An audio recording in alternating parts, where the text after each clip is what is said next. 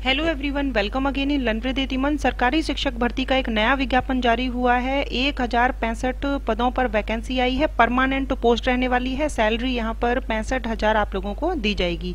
सभी सब्जेक्ट की वैकेंसी निकाली गई है। यहाँ पर botany chemistry commerce economics English Hindi psychology sociology इसके अलावा जो है फिलोसॉफी की वैकेंसी है आईटी की है फिजिक्स पॉलिटिकल साइंस संस्कृत। ठीक है? काफ़ी जो है सब्जेक्ट की वैकेंसी यहाँ पर आई है। परमानेंट पोस्ट है रेगुलर पोस्ट पोस्ट हैं।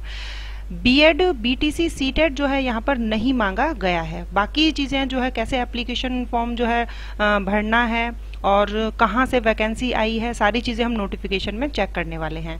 सबसे पहले मैं आप लोगों को बता दूँ ओपनिंग डेट जो है स्टार्ट हुए हैं ये 11 सितंबर से, ठीक है? एप्लीकेशन फॉर्म स्टार्ट हो चुके हैं 11 सितंबर से। नेक्स्ट जो है क्लोजिंग डेट रहेगा 13 अक्टूबर।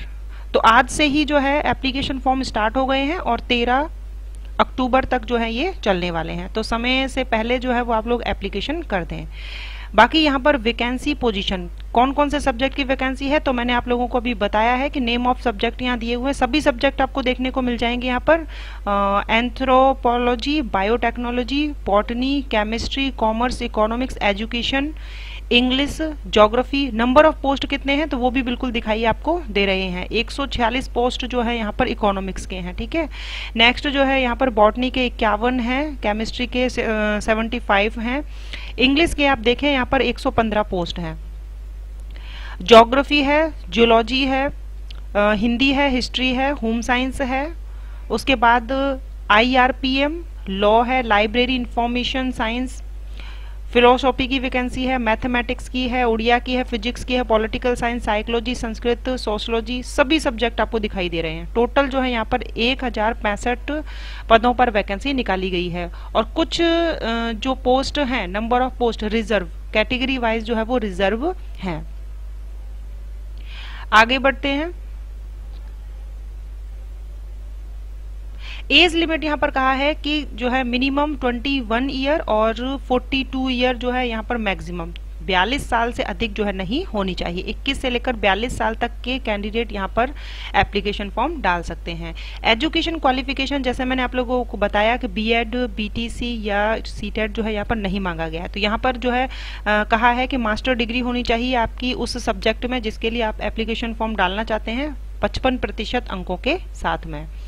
और जो है यहाँ पर शेड्यूल कास्ट यानी S C S T P W B D जो कैंडिडेट हैं, उनके लिए कहा है कि 50 प्रतिशत मार्क्स जो है वो आप लोगों के मास्टर डिग्री में होने चाहिए, ठीक है? बाकी जो जनरल कैटेगरी है, उसके लिए 55 परसेंट मार्क्स चाहिए। तो अभी देख लेते हैं, वैकेंसी जो है वो कहाँ से आई है?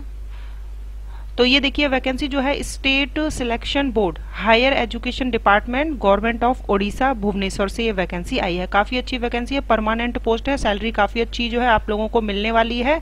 ये वैकेंसी जो है, निकाली गई है लेक्चरार की वैकेंसी है non government aided college of Odisha से। ठीक है, एक हज़ार पैंसठ पोस्ट है, जो भी नोटिफिकेशन में होता है, वही मैं आप लोगों को बताती हूँ। पे स्केल जो है, यहाँ पर है, चवालीस हज़ार नौ सौ से लेकर एक लाख बयालीस हज़ार। परमानेंट पोस्ट है ये एज पर पे मैट्रिक लेवल टेन के अकॉर्डिंग आप लोगों को मिलेगी। तो इतनी अच्छी सैलरी आप लोगों को यहाँ मिलने वाली है परमानेंट पोस्ट रहने वाली है।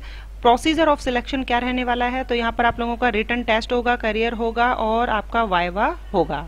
ठीक है तो लेक्चरर की पोस्ट है यहाँ पर और मार्क्स आपके यहाँ पर दिखाए गए हैं। 200 मार्क्स का कुल जो है वो आपका यहाँ एग्ज़ाम होने वाला है।